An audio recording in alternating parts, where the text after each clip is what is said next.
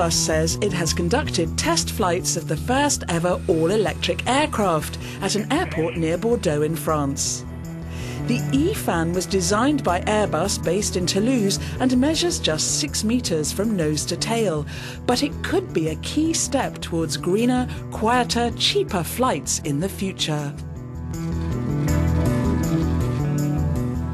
There are 120 battery units, 60 on each side. Each engine is powered by 60 battery units fitted into the wing space.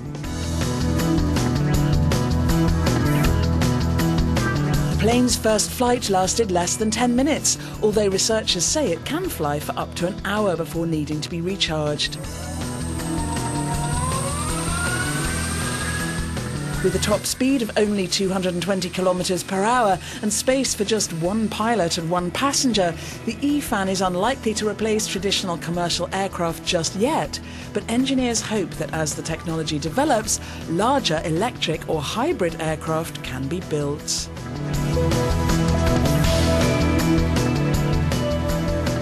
For short haul, say 80 or 90 seats, two and a half or three hours of autonomy, for that, we really can envisage a hybrid plane in the future. Electric planes would be quieter and maybe cheaper, but for the environment, cleaner planes could make a huge difference.